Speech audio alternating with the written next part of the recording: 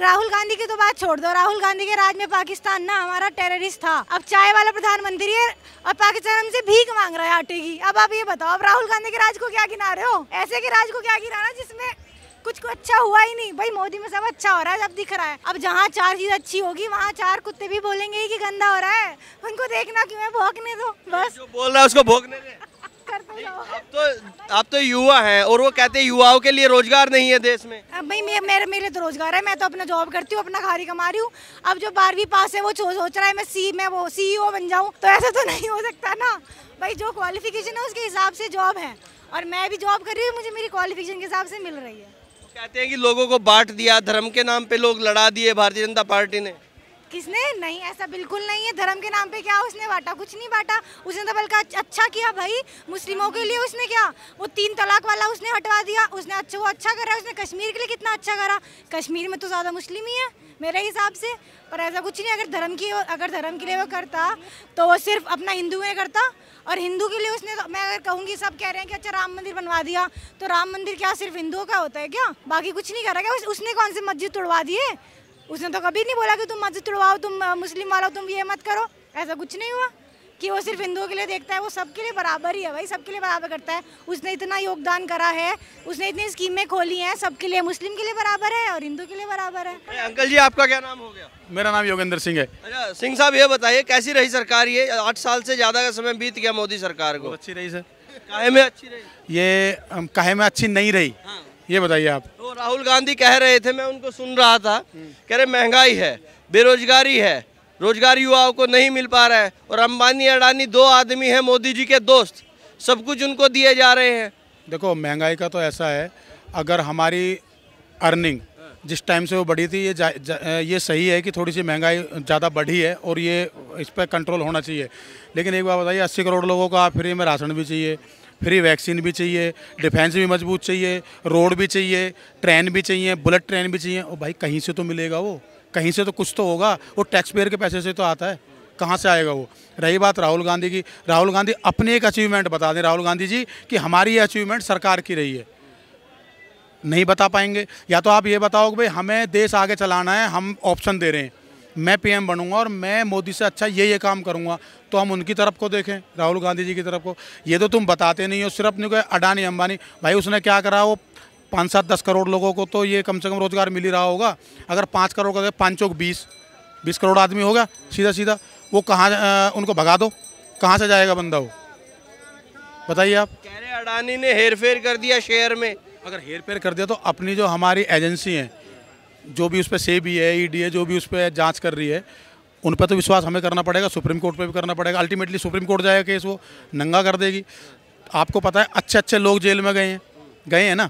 तो फिर इसको भी वेट करो ना आप। जेपीसी बनाने में जेपीसी में मुझे जितने भी एमपी हैं क्या एक्सपर्ट हैं क्या? किस चीज़ के एक्सपर्ट हो भाई तुम? उसमें भी जूतम बाज़ार देखा है हमने। भाई किसी भी एजेंसी से आप अ, सही से इसकी जाँच होने दो। अगर ये निकलता है अ, इसको गिल्टी निकलता है तो इसको देखो पकड़ो इसको। कहते हैं कि धर्म के नाम पर लोग लड़ा दिए हैं। जब से भारतीय जनता पार्टी की सरकार आई है, नरेंद्र मोदी प्रधानमंत्री बने हैं तो लोगों में एक खटास पैदा हो गई है। हिंदू मुसलमान के बीच दीवार पैदा हो गई। सर, अब थोड़ा हिंदू अलर्ट हो गया है। अब अलर्ट इसलिए हो गया है कि अगर उनको कोई बोलता है तो वो उनको जवाब देना शुरू कर दिया है। पहले एक पक्ष की ज़्यादा सुनी जाती थी दूसरे की नहीं सुनी जाती क्योंकि वोट बैंक का मामला था। और मैं ये नहीं कह रहा कि लड़ना चाहिए दोनों को मिलकर रहना चाहिए लेकिन कुछ लोग इधर भी हैं कुछ लोग उधर भी हैं जो इसको बेमतलब का पंगा बनाते हैं। वरना जो राम मंदिर बन रहा है वो सुप्रीम कोर्ट ने डिसीज़न दिया है उसको। सबने माना है उसको। अब ज़बरदस्ती अगर भिड़ाने वाली बात करते हैं अ, खाई कहाँ की खाई बना दी भाई इसमें? कहाँ की खाई बना दी? एक बात बताइए लार्जेस्ट जो मेजोरिटी है मोमडनों की सेकंड हमारे देश में। मानते हो ना? अगर होती तो फिर ये कैसे होती? अगर इनको हम दबा के रखता हिंदू हम सौ करोड़ हैं एक सौ चालीस में चलो उनको तीस मान लो तो क्या रहता भाई उसमें? तो ये तो कोई बात नहीं हुई। अगर ज़बरदस्ती आप किसी भी चीज़ को बढ़ावा देते जा रहे हो तो वो तो कोई बात नहीं हुई। ऐसा कुछ नहीं है। सब बढ़िया चल रहा है। कहाँ के रहने वाले हैं। मैं नोएडा से। अच्छा, नोएडा के। अभी मैं आपको वहाँ पर सुन रहा था तो आप बता रहे थे सिंधिया पायलट इन सब के बारे में कि कुछ ऐसा बता रहे कांग्रेस में बताइए ये राहुल गांधी है। इनसे कुछ नहीं हो पा रहा।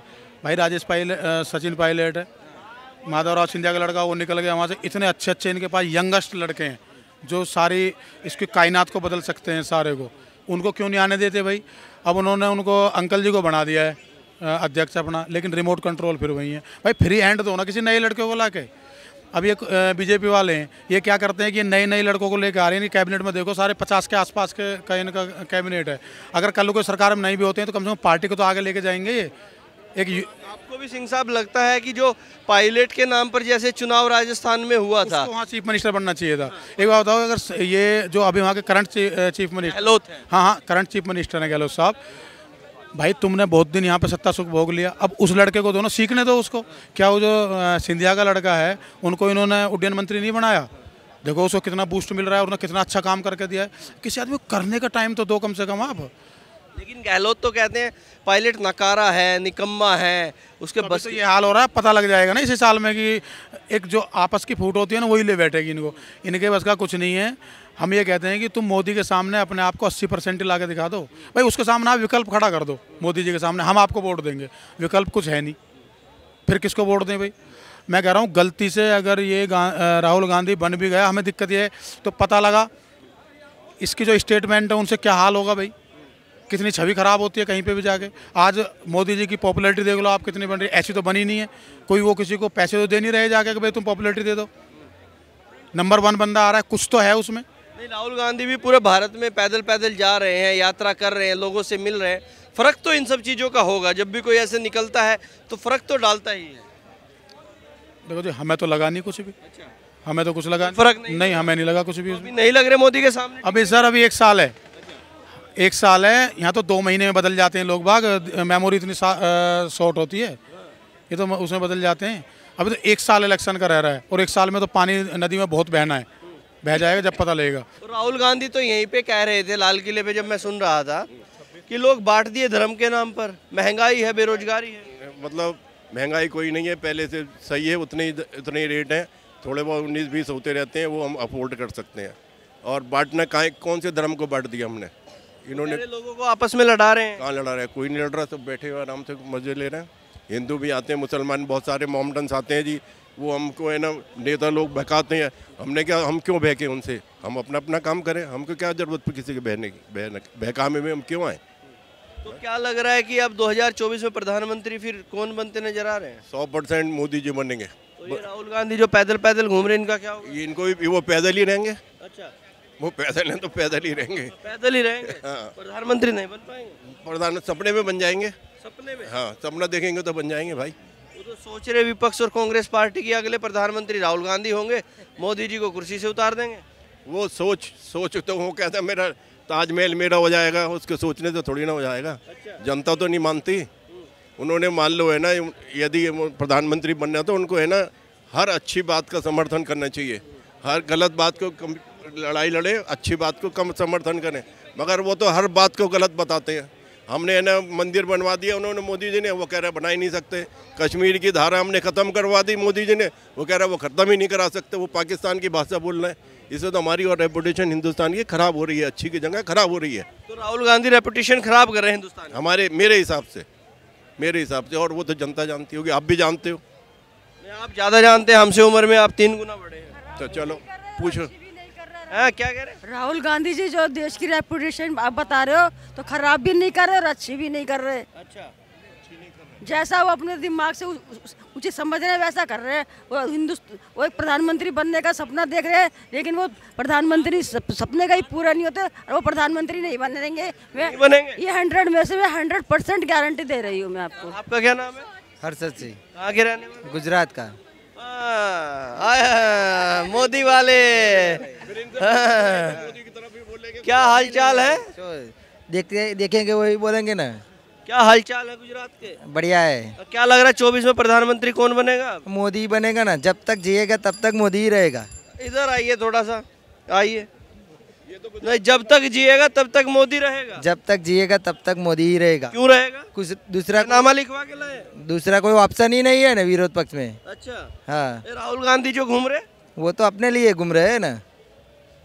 पहले कहा वो तो प्रधानमंत्री को तो सपना सपना रह जाएगा उसका बनने का। सपना? सपना रह जाएगा। मोदी बन जाएँगे। मोदी तो बनेगा जब तक जिएगा तब तक मोदी ही रहेगा।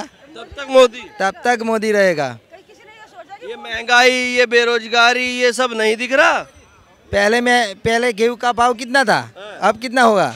तो मैं हाँ? कितना हुआ? पहले तो दो सौ रुपया में मन बिकता बिकता था। अभी पाँच सौ रुपया में बिक रहा है। अच्छा। तो सबकी महँगाई तो बढ़ेगी तो वो विकास ही कर रहा है ना? नहीं कर रहा? सही चल रहा है। सही चल रहा है बढ़िया चल रहा है। सही चल रहा है बढ़िया चल रहा है बहुत बढ़िया चल रहा है। बहुत बढ़िया। हमारे मेन बात मेन बात है, एक तो विदेशों में इज़्ज़त बढ़ गई है और शांत सबसे बड़ी बात है कंट्री में शांति है। ये चीज़ है ये।